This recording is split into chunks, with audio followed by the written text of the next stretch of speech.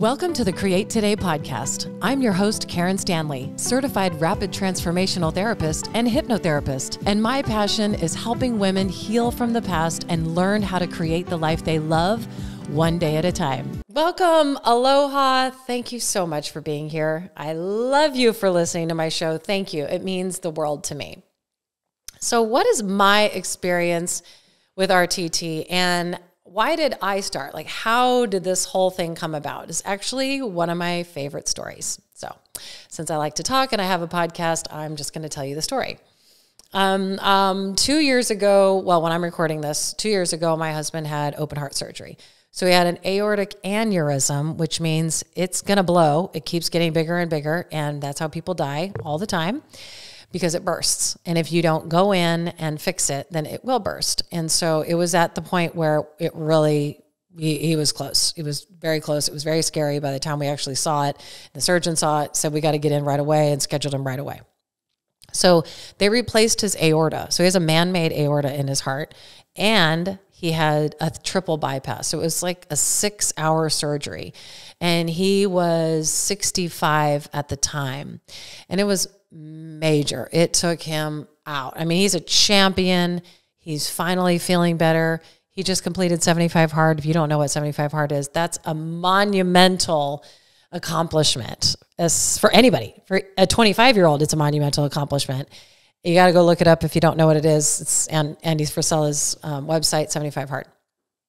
And he completed it at 67 after having open heart surgery. And he had not been feeling good at all. He hasn't been, hadn't felt good at all for the last two years. But the very first days that we were home, because he was in the hospital for like the first week, and then the week, the following weeks we were home, um, I was just completely consumed with fear. I was constantly playing out the world's worst scenarios. I wasn't sure if he was going to wake up every time he went to sleep for a nap. I really, I almost got like one of those nanny cams or like a baby monitor or something.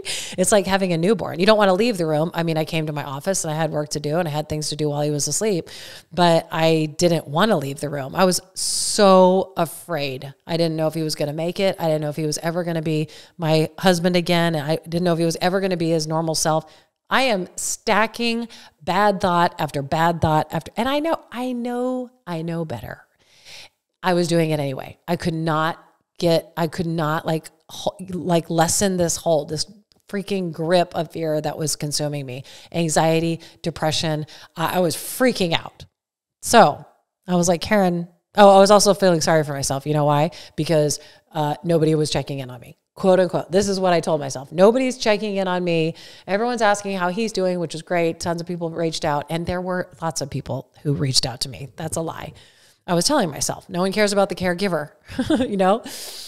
And who cares? I'm not the one who went through it. I didn't want, I just was feeling sorry for myself. I was like, get a grip, Karen. Don't be a Karen. What do you say? Take your own advice. When you are feeling this way, pick up the phone and call someone that you love. And so I was like, all right, I'm going to do that.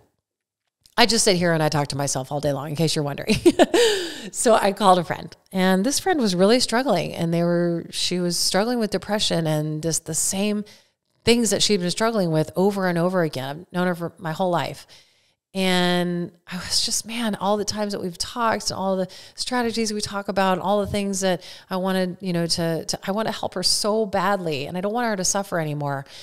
And I was so discouraged. And so then I called another friend, and she was struggling with depression and she was looking to get another antidepressant to be on because the current one was making her feel tired and making her feel sick. And I'm just like, man, I wish there was a, um, a solution. And then I said, God, what actually works? What actually works? I sat right here at this desk in this office and I prayed. I mean, maybe it sounds dumb, but immediately, you know what came to my brain? Marissa Peer. No, I didn't know her name. She, I what came to my brain was blonde hair, British accent, Tom Bilyeu. Tom Bilyeu. Okay, I know Tom Bilyeu. I see him speak. Love him. Love all of his interviews. I remember her. There was this blonde woman from from England And she was amazing. And she was talking about self worth and she was talking about how powerful your words are. And I loved her, but I didn't remember her name. I didn't ever follow her on Instagram, which is very rare. I mean, usually when I see someone speak or I see a video of someone I like, I immediately follow them on Instagram and consume all of their content. I want to learn as much as possible. If there's someone I really connect with, but I didn't. So I went to his YouTube channel and I scrolled scrolled and scrolled. It was several years ago. Finally found it. Marissa Peer. That was her name. Oh my gosh, I listened to that again. Then I went to her website, listened to her other videos on YouTube, and I was hooked. And I then saw that she's training therapists to do her method. It's this is her method. Rapid transformational therapy is created was created by Marissa Peer. Over 30 years of seeing clients and she's trained in all kinds of therapies. So it utilizes hypnosis, but there's lots of other therapies. There's lots of other tools, other strategies we use in the session itself. So it's not just hypnotherapy. But we use hypnotherapy. As soon as I figured I found out that she was training teacher like therapists, I could learn this and I could be a therapist and I could do that thing. That was it. I immediately signed up. Um, I had to do like a call and I didn't realize that I was going to have to like be chosen or like be accepted. I had to apply and I was like, oh crap. And I told the guy when I was, I talked to him, this beautiful man in England and this awesome English accent. I was like, oh my gosh, oh, I have to apply. Like, I have to wait to see if you're going to accept me. Well, no, I, I have to be accepted because God told me to do this. I mean, that's literally true. I mean, it sounds so dumb. And he just, I just, he just fell out of his chair. He was just like, I've never heard anybody say that before. I'm like, no, really. And then he was like, well, you know, they also, one of the things they want to know is to make sure that you have enough time to dedicate to your training. It's all online. And then um, you have to do lots of practicing, lots of training, lots of classes. It's all online you have time to do that. And I was like, well, I'm just going to quit my job. I didn't quit my job, but he died. He's like, nobody's ever said that before. So I learned, took me a little over a year to get through all of the training and all the hours and all the practice sessions. It was such an incredible experience. The best decision I've ever made, ever, because I've finally found something that gets lasting results and helps give people relief, helps give me relief. I signed up and paid to get trained as a therapist before I had even had my own therapy session. I was like, well, if I'm going to do this, maybe I should get my own therapy session. And so I did right after I signed up.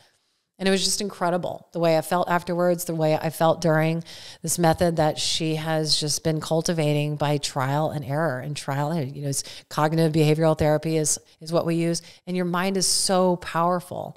And once you learn how powerful the mind is, you really want to keep learning. For me, I just want to keep learning. I keep wanting to change whatever beliefs that are keeping me stuck or change whatever it is that I want to I want to get better. We all need help. Every single person, we all need a little bit of help. We all have beliefs at some point that we've developed that are not serving us and that aren't true anymore. And this method helps us unlock those beliefs and unlock the core, the root cause of the symptom. Like if you're struggling with anxiety, anxiety is the symptom, that it's not the problem.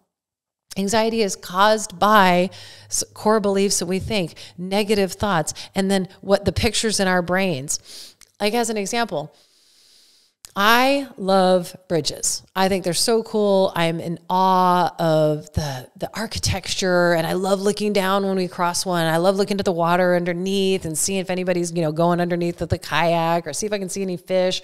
I love bridges. I love lakes. I love water. I love going over them, especially the old ones. You know, those really cool old ones that are wood and they're all back east. We don't have anything like that in Arizona, although we do have the Golden Gate Bridge. I'd never even seen it. It's at Lake Havasu. Anyway, I digress. So, my daughter, though, she hates bridges, they terrify her. So, the beliefs that you have are created by the pictures you have in your brain and the words that you're saying about it. That's how powerful the mind is. I'm going over there. I'm picturing the coolest architecture. I can't believe people can build bridges. I'm just in awe and wonderment and love it. And it's beautiful.